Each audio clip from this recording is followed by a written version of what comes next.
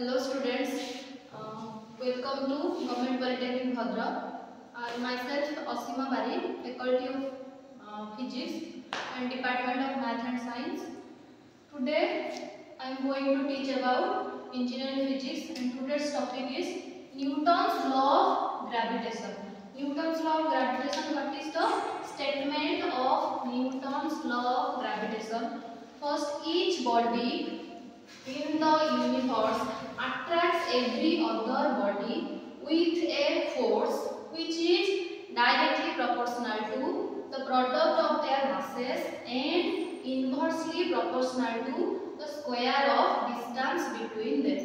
What is the statement says that each body if in the universe if one body has mass m1 and another body has mass m2 then the body which has mass m1 will attract that body which has mass M2 with a force which is directly proportional to what product of their masses. Product M1 into M2 and second is inversely proportional to the square of distance between them. F inverse proportional to square of distance. R is our distance between between the of masses. Then, so statement said that each body in the universe attracts every other body. So first body is M1 which is mass M1, second body mass M2. Then force is attractive force.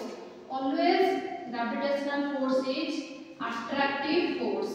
That F directly proportional to M1 into M2 the mass of the body m1 into m2 and inverse proportional to square of distance. R is our distance between mass m1 into and mass m2.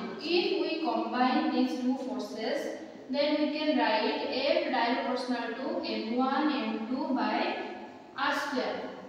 Then if I am to omit this proportionality symbol, then we can equal, then we can add a constant m1 m2 by r square here here capital G is our universal gravitational constant universal gravitational constant why it is universal because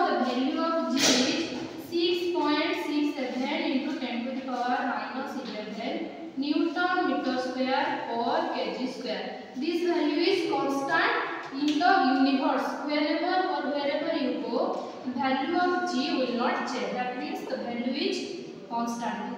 That's why capital G name, named is universal gravitational constant. This is our gravitational force. F equals to G M1 We have started gravitational force which is F equals to G M1 M2 by R square. This is our formula for gravitational force where G is our universal gravitational constant. The value is 6.67 into 10 to the power minus 11 Newton meter square per kg square. This is a universal because the value of G will not change in anywhere. That's why its name is universal gravitational constant. Then we will study about definition of G, capital G.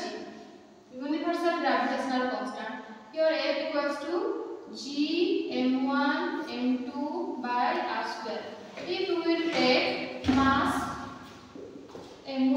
equals to M2 equals to 1 unit. That may be 1 kg or 1 gram or 1 pound. And radius or distance is 1 unit. That may be 1 meter or 1 centimeter or 1 feet. Depending upon the system, MKS or CGS or FPS. Then what will be the value of F?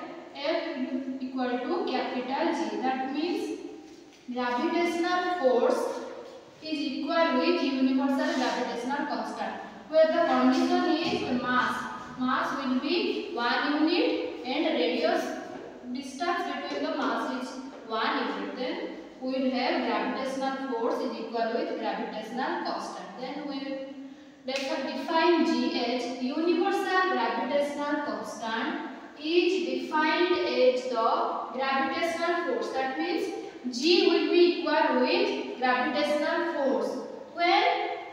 bodies have unit mass and they are kept at a distance of 1 unit. That means if we will take mass of the two body is 1 unit that may be unit may be kg or gram or pound or radius and that is distance between the two body will be 1 meter or 1 centimeter or 1 feet depending upon the system then will have gravitational force is equal with universal gravitational constant that is universal gravitational constant is defined as the gravitational force between the two